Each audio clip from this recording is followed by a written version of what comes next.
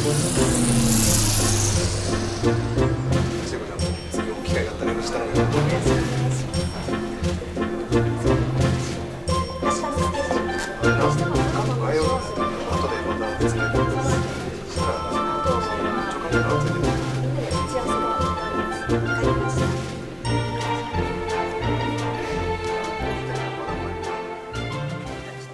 督映画の完成おめでとうございます、ありがとう。いやーでもここまでうまく完成したのも主演の君とルリ子ちゃんのおかげだな。今日ルリ子さん他の仕事で後から来ますよ。ああまあ仕方ないさ。みんなこうやってスターになってくんだよ。いやー今日はお招きいただきありがとうございます。出雲さん撮影の時はいろいろとありがとうございました。あいえいえ結構監督が無茶言う人だから警察の警護がなかったら映画完成しなかったでしょあのー、うちの女優の足川なんですが。どうされました？いえ何でもありません。明信子さん明日の予定は何だっけ？日は夏から始まるドラマの衣装合わせが午後から入ってます。そう。じゃあ少しは時間ありそうね。何かありますか？ちょっと監督に次回作の話を聞きに行くことになりそうなの。わかりました。さっきも話したけれどもカットあそこを変えるって話したでしょ。はい。あの大道具さんに伝えておいて。あの道具用意してますあから。はい。うん。あそうだ。それとね次回作の話なんだけれどもニタにな。カジ君めったなことは言うもんじゃない。おーおーおーニタニ君。監督。今度の映画で仰せの通り顔を伏せて出演したんだ。次は高額なギャラで主演に使ってもらえるって話。忘れてないよね。ニタニさん何もこんなところで話さなくてもいいじゃないか。あの私ちょっと外した方がいいですか？あごめんそうしてくれ。どうして？助監督の彼女にもぜひ知っておいてほしいじゃないか。次回俺が主役だって。カジ君すまないけども控え室で。かしこまりました。おっと。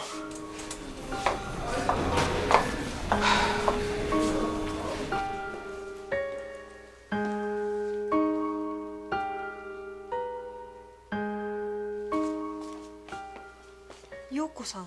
駿河さん撮影の後まで警察のお世話になってしまって申し訳ございません。いいえお気になさらないでください。今日まで警護するのが任務ですから。それにしても助監督って仕事は大変そうですね。まあそれなりに。でもみんなこれを経験して監督になりますから。ここでお酒を飲まれては困ります。どなたですか？いやここで待つように言われたんだけど。誰に？私ですもう一人控室に警察の方がいた方がいいと思って。警察の方？あなた同業者？あれ？ご面識ないんですか？知らないわよこんな人。どこの課の人？いや本日より大和署捜査課に配属になった近衛刑事部郎だ。この絵この絵慶十郎ってあの警察勲功賞をいくつも受賞しているあの近衛慶十郎？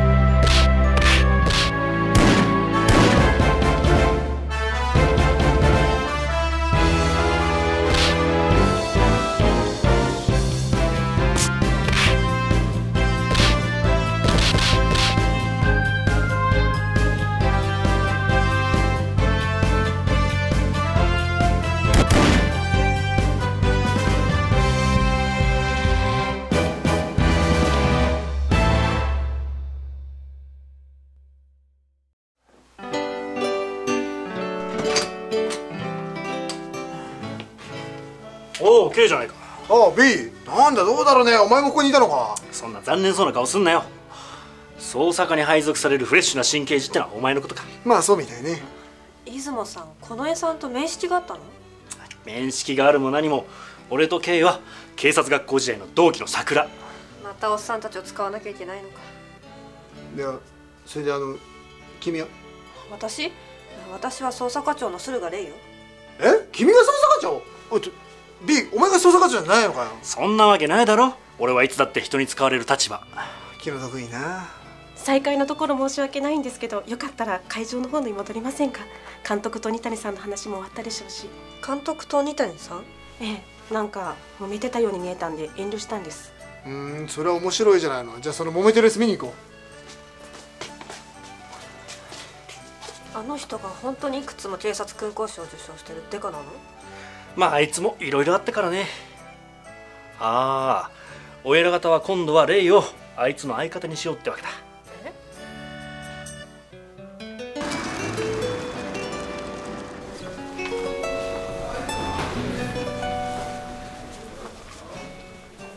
梶さん監督が探されてましたよ。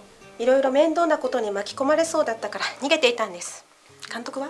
私も探しているんですけどいらっしゃらなくて二谷さんと一緒ですよきっと。なんだって？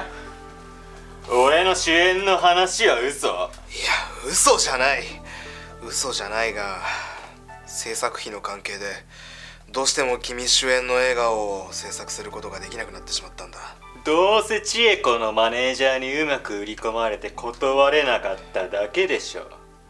俺はねあんたが砂利番組を手掛けている頃からずっと信じてやってきたんだぞそれは分かってるし申し訳ないと思ってる。だが今回のことは本当に俺にもどうしようもないんだ。それは分かってくれ。この年前は必ずつける。監督ねそれ5年前にも同じことを言ったよ。その時も俺主演のドラマはポシャったんだ。こうなったら顧問弁護士を通して訴えてやる損害賠償請求してやるぞ。どうしたんだ？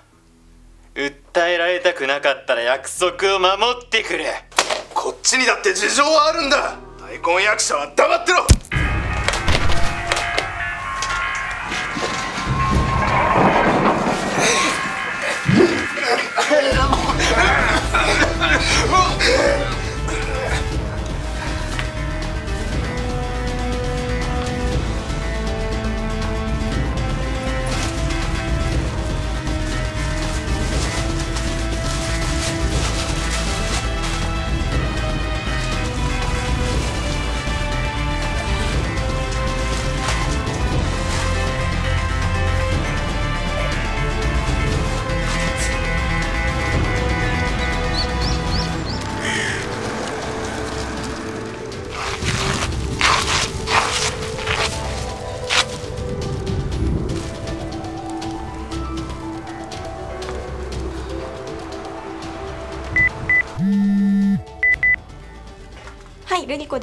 どうしました監督？もしもしルリコちゃんどうだい？会場が落ち着いたら夜風でも浴びないか？ロケ地で待ってるよ。うん。ああそうだ。借りた機材なんだけれども返しておいてほしいんだ。うん。公園の入り口袋に入れて置いてあるから。あよろしく頼む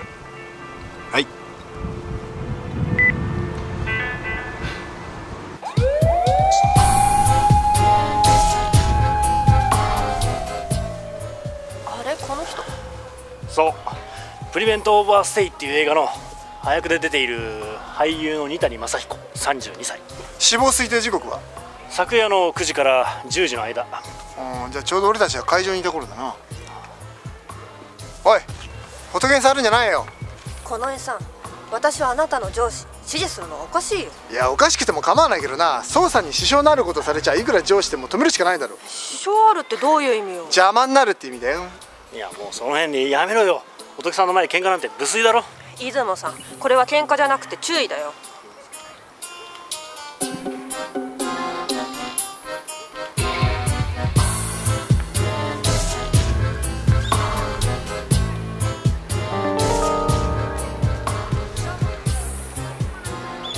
どうしたっけ？ああ悪いんだけどさこの二谷さんの右足の靴についていたこれ鑑識に回してくんないか？これだけでいいのか？どうも。ご迷惑をおかけしております。どなた？映画監督の大島康次郎です。弟もお世話になっております。弟？弟さんなんか世話しましたかな？ああほらあれだよ。監督の弟って今度大和署に異動になる大島米八。それねああ通りでなんかお会いしたような気がしてましたよ。いや二谷君が自殺したと聞いて驚きました。彼とは付き合いが長かったものですからそれと遺書は見つかったんですか？ええ彼直筆のものがありました。後で見てもらいます。監督夕べの9時から10時どちらにいらっしゃいました？その時間は次の映画の話もあって二谷君と話していました。どちらで？皆様と一緒にいた会場の会議室です。二谷君と話が終わって彼が部屋を出てそれっきり。おいレイ頭ごなしに監督にアリバイなんか聞くんじゃないよ。失礼でしょうが。聞かないでどうするのよ。これが私たちの仕事でしょ？そりゃそうかもしれないけど仏の前で。失礼だろうがこのバカタレが。語れとは何よ？もう二人ともいい加減にしろよ。仏さんの前で喧嘩なんかすんじゃないよ。あの話ならいくらでもいたします。ご遠慮はどうかなさらず。まあそうなんですけどいくらなんでも仏の前じゃこの人に失礼なんで移動しましょうか。はい、課長になって2年こんな嫌な部下が来るなんて思ってなかった。じゃあ監督と二谷さんは最後にここで話されたってことですね。そうですね。30分ほどここで会話をしました。あの監督二谷さんとは反りが合わなかったっていうふうに伺ったんですけど間違いないですかね？そうですね。どこでそれを？いや足川さんのマネージャーの南さんと助監督の梶さんからですよ。梶さんも南さんも昨べ監督を探しましたからね。そうですか。昨べはどちらへ？二谷君が出て行ってからは一度外出してからここに戻ってきました。外出？どちらへ？ちょっと酔いざましに大和池公園まで。あ瑠璃子ちゃんも誘ったので証明できますよ。瑠璃子ちゃん？今回の映画で足川千恵子と一緒に主演をやっている女優の女の子です。この辺りは今回のロケ地に使いましたからね。ま真夜中のロケ地巡りってとこですかね。ああそうでしたか。あそうだ。あのお見せしておきますね。これ二谷さんの衣装です。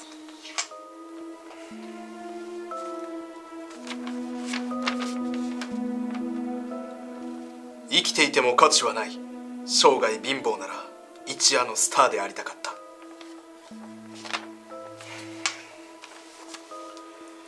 私も彼を次回作の主演にと思ってはいたのですがスポンサーの意向でどうしても実現しなかったんです。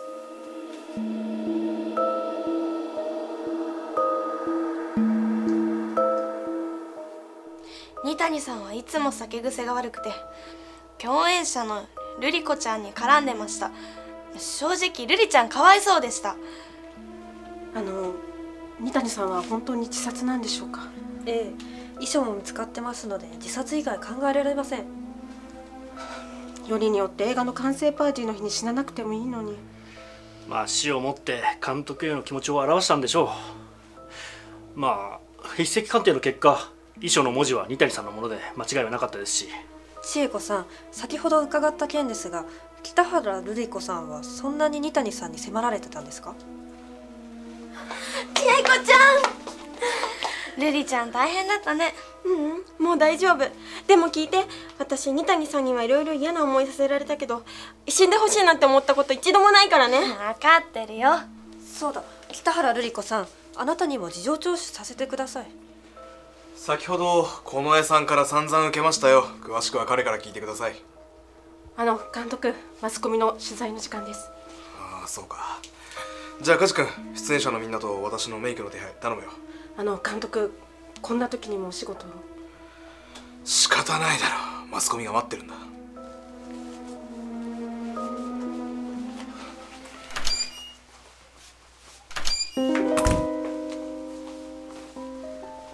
私の許可なく聞き込みなんかしてんじゃないよこのドサンピン。ドサンピンとはなんだよ。君こそ何が捜査課長だよこの御所車が。御所車？卵って意味。君は刑事の卵ってバカにされてんの刑事の卵とは何よ？私はこれでも捜査課長よ。何が捜査課長だよ。こんなのが捜査課長だったらね誤認逮捕が続出しますよ。あの私たちそろそろ仕事があるんでもう行ってもいいですか？ああどうぞ。我々もそろそろ引き上げますから。それじゃあ失礼します。出雲さんドサンピンの前で言うのも尺だけどこれは自殺ではなく他殺ね。本当かレイ？ええ星は瑠璃子さんよ二谷さんに執拗に迷惑をかけられていた。だから殺したのよ。でも犯行の動機があっても証拠がないからな。それに犯行時刻彼女は監督と一緒に公園を散歩したっていうアリバイがある。きっとうまく細工してるのよ。女の執念は怖いからね。必ず尻尾を掴んでやる。ね勲章のおっちゃん。おっちゃん。まあ例の着眼点は間違ってはいないけどな。あそうだ B 頼んでおいた会社の靴についていたあれどうだった？あああれか。あれは床や壁を補修するための木目シールだな。ちょっと付き合ってくんねあ。ちょっと課長の私差し置いてんじゃないよ。えー亡くなった二谷正彦さんは北原瑠璃子さんに迫っていたと噂されてますけれども本当のところどうなんでしょうか？それは今回の映画とは関係がないのでお答えすることができません足川さんはご存知だったんですか？ノーコメントでお願いします。じゃあマネージャーさんはどうですか？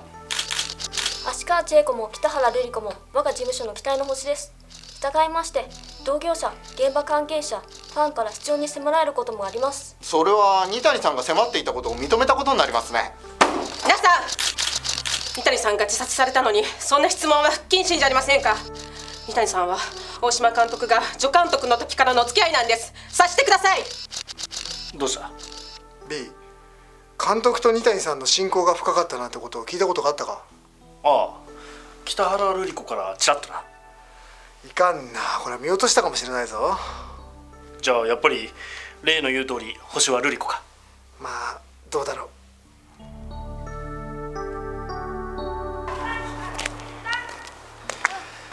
なあケイもったいぶらずに教えてくれよ。ういや証拠もなしに言いふらすわけにいかないだろう。どっから漏れるかもわからないし。なんだよ俺が情報を漏らすってのか？ちょっとどこ行ってたの？朝から誰も出勤してこないから。ボイコットしたかと思ったよ。いやケイがのんびり朝飯食わないと頭が冴えないって言うからよ。優がね出雲様に毒されないでください。俺は平気だよ。それでおっちゃん何か掴んだの？まあ今朝行った店のコーヒーがぬるくて困った。まあそんなとこだな。要するに何もつかめてないのね私は瑠璃子が星だって証拠をつかんだよ。本当？うん。犯行のあった日会場から大きな袋を持って出ていくのを見た人がいたの。きっと二谷の遺体を詰めて運んでたのよ。それで首吊りに細工した。どう？じゃあ告発してみたらどうだ？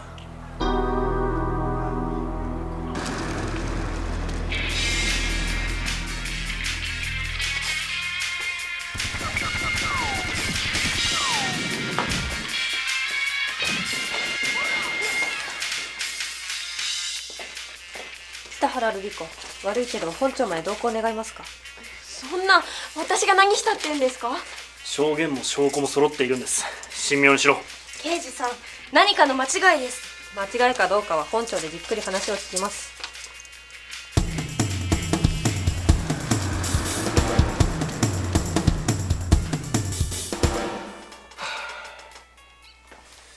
監督ちょっとご一緒してもいいですかな？これはこのさんどうぞしかし驚きました。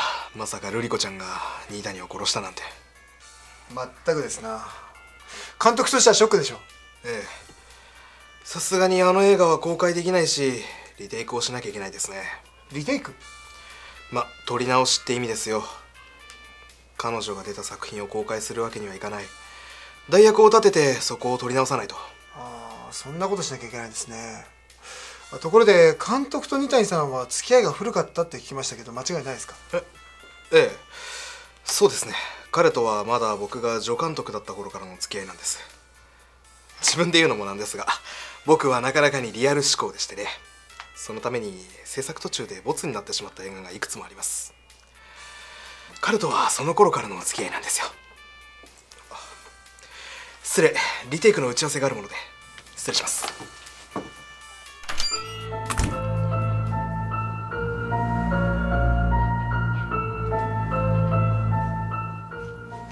陽子さん。あ今井さん私瑠璃子ちゃんが犯人だなんてどうしても思えないんです。いや思わなくていいよ。それよりも随分なんか慌てた様子だったね。あなんか孤独係がこれから使うものをなくしちゃったって言うんです。孤独係？あそうか。ねえ陽子さん。監督が以前未完成で終わらせた映画の情報ってどこ行けばわかる？さあ。あでも制作会社のライブラリーに行けばわかるかもしれません。かたじけない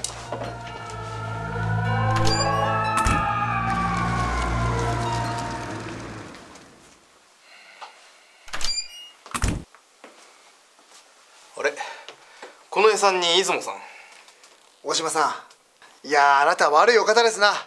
自分の罪を可愛い新人の瑠璃子さんになすりつけようとした。卑怯ですよ。何のことでしょ大島康次郎殺人容疑で逮捕する。うちょっと待ってください。二谷君の件は瑠璃子が被疑者ってことで話がついたんじゃないですか。あ俺も出雲もまだ二谷さん殺人容疑とは一言も言ってませんよ。このタイミングなら彼しかないだろう。大島さんあなたはここで二谷さんを殺害して外へ運んだ。そして自殺へ見せかけた。自分は裏口からそっと出てわざと瑠璃子さんに似たようなものを運ばせて人目につかせた。違いますか？これは瑠璃子さんのスマホですけれども二谷さんの死亡推定時刻にあなたからの着信がある。だから以前言ったでしょう。瑠璃子を誘って夜風を浴びに行ったと。その時の着信ですよ。まさか彼女が遺体を運んでるなんて思いもしなかった。まだそういうことを言いますかよく考えてみてください。小柄とはいえ二谷さんの遺体を彼女が一人で公園まで運べますか？そんなこと知りませんよ。靴が気になったんですよね。これは二谷さんの右足の靴に付着していた傷補修用のシールだ。おそらくここで揉み合った時についたんでしょうね。そんなものは証拠にならない。確かにあの日新谷が自殺した現場に俺はいた。しかし彼とは一緒に話してその後別れた。二谷さんはこの会議室で殺されあなたは公園まで運び木に吊るした。その後瑠璃子さんに会って何食わぬ顔をしてこっちに戻ってきた。そういうことじゃないんですか？じゃあ伺いますがねあの衣装は何だったんですか？小苗さん。衣装はあんたから見せてもらったはずだ。それがどうして俺が殺人をしたというような話になるんですか？一緒ですか。あれね僕もずっと気になってたんですよ。ところが監督あなた自らがヒントをくれたんですよ。それをどこで？制作会社のライブラリで借りてきました。監督あなたは自分のことをリアル思考の監督だとおっしゃってましたね。これはあなたが新人の頃に取りかけてボツになった映画の台本です。これには二谷さんも出演している。そして物語序盤で二谷さんは自殺する設定だ。衣装はその時のもの。その証拠に文面も全く同じ。なあ K 今回の二谷さんの衣装は確か直筆だったな。そう。そこに監督のリアル思考が隠されているわけだ。普通こういったものは小道具係が用意するんだけれども監督は当時二谷さんが書いているところを実際に撮影するために本人に書かせたんだ。当時の制作スタッフはもう辞めていて誰一人残っていない。ボツになった映画のことなんか誰も覚えていないと思ったから犯行に使った。違いますかな？よ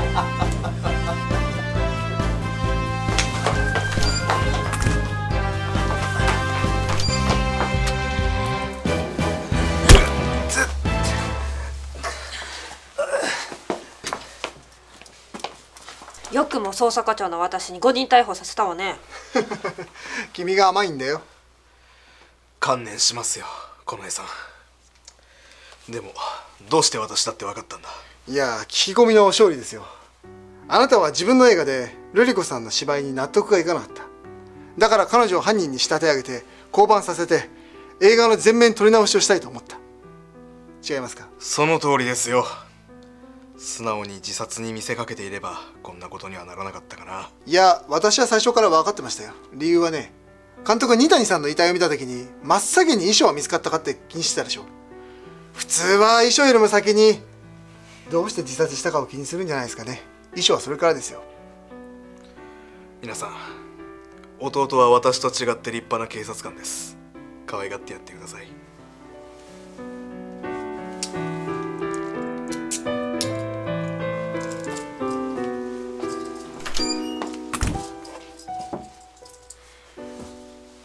何かご質問は？あるわよ一つだけなんで出雲さんのこと B って読むの？あいつは警察学校時代とってもいい子だったんだよ。英語で B はいい子でしょ？だから。それだけ？他にもいろいろあったけど忘れちゃった。これから一緒だ。ゆっくり聞いてくれればいいよ。私もおっちゃんのこともっと知りたいよ。興味本位だけどね。それで結構。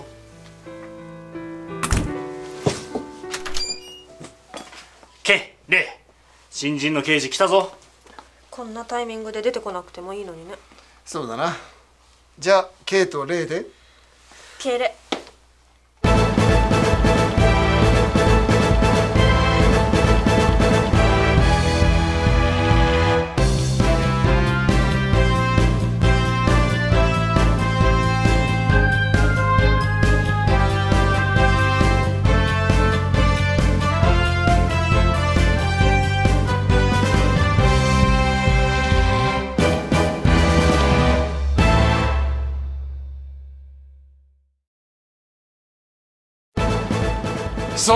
決して出し抜いたつもりはありません。私が選ばれてご気分を害されたようでしたら謝罪いたします。ガイシャは梅津博士29歳。この沖田流書道教室の講師です。やっぱり吉村が怪しいよ。アリバイを聞いた時のあの憤り。彼だけアリバイがないからね。動機は十分でしょ？その時間私はあのレストランにいたって証明できるわ。狼の時には爪と刃を隠して迫るから。私は優しいコヨーテでもお断り。じゃあ今日は獲物に迫るだけで結構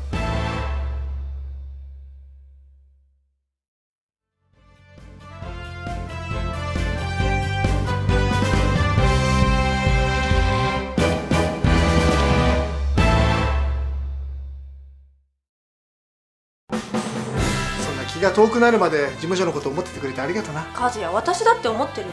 従って事務所の資金を私たちが工面するのは当然だ。ただしだ事務所を立て直すと同時にお前は私と一緒にパリへ帰るんだ。さゆり。本当によ？本当にお前にそばにいてほしくなかったら1年前ここに就職希望で来た時に俺意地でも追い返してたよ。今しびれなかった？じゃあ僕だけだ。分かった。さゆりに見つめられたからだ。今度は君がしびれる番だよ。泣かせないでよ